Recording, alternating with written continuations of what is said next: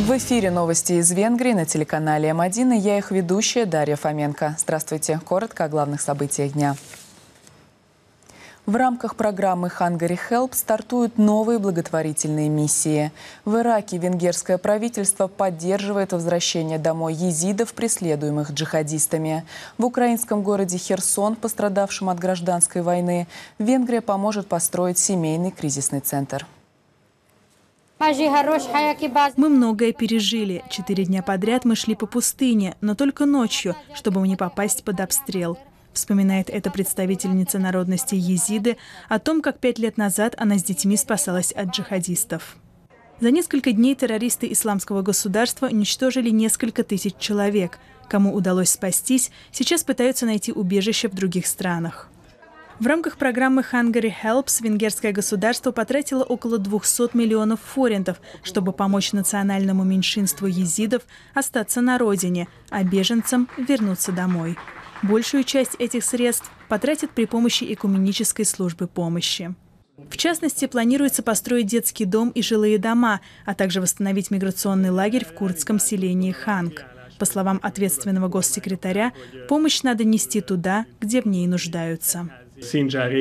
Они не ждут помощи ни от кого другого, только от венгерского правительства и программы Hungary Helps, подчеркнул госсекретарь.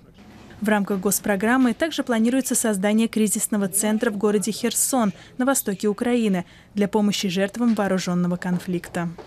Программа Hungary Helps была запущена в 2017 году для помощи людям, гонимым из-за их религиозной принадлежности. До сих пор была оказана помощь в возвращении на родину более 50 тысяч человек. Число занятых продолжает увеличиваться. С мая по июль более 4,5 миллионов человек трудоустроены. В Венгрии никогда не было так много работающих граждан.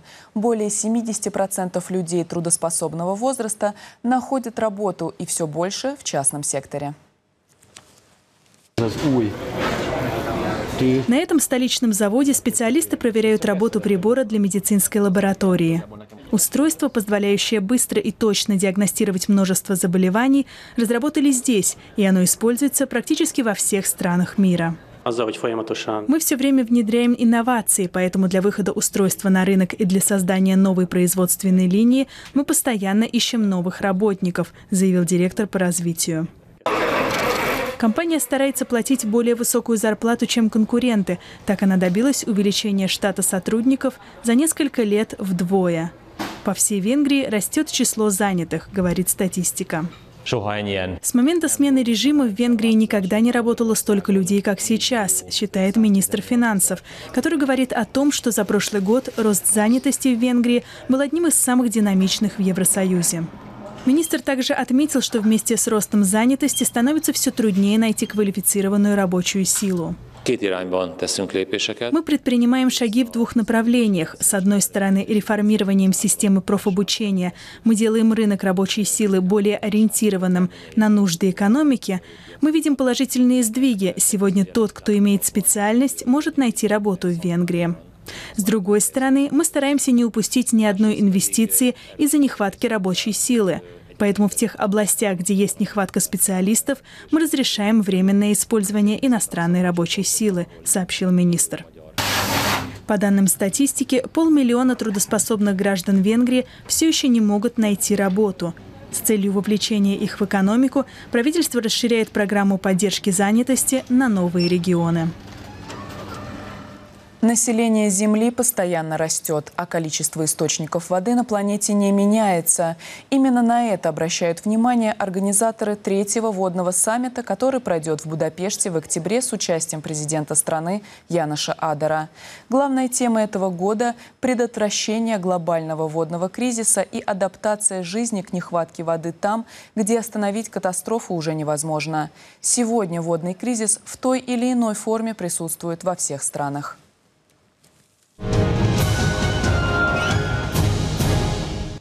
Мгновения движения, полета, изгиба тел запечатлены в работах современных художников-фотографов, представленных в галерее Манг в Сент-Эндре. Авторы фотографий пытались увековечить движение мастеров современного танца во времени и пространстве. Выставку можно посетить до 25 сентября. 5 сентября открывается фестиваль «Урожай музыки». Главная тема фестиваля в городе Печь – народная музыка. В течение четырех дней на улицах, площадях и даже во дворце пройдут концерты. Помимо этого гостей ждут выставки, просмотры фильмов и другие сюрпризы.